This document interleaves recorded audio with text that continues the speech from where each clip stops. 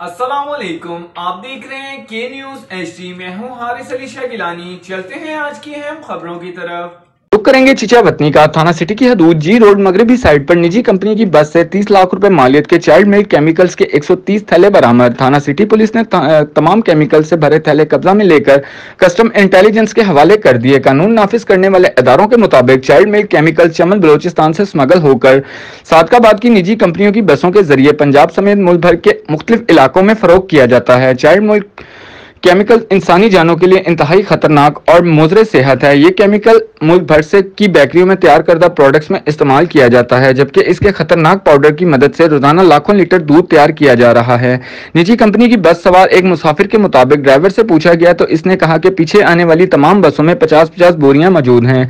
अवामी हल्कों की तरफ़ से मुतालबा किया गया है कि महकमा फ़ूड अथॉरिटी और मुतलका महकमा जात फिलफौर चीचा वतनी की गिरदो नवाज़ समेत पंजाब भर की तमाम बेकरीज दूध पॉइंट के सैंपल्स हासिल करें और मुलवस अफराद के खिलाफ सख्त ऐसी सख्त कार्रवाई अमल में लाए। मजीद खबरों और अपडेट्स के लिए हमारे साथ रहिएगा। तब तक के लिए अपना ख्याल रखिएगा। अल्लाह हाफिज।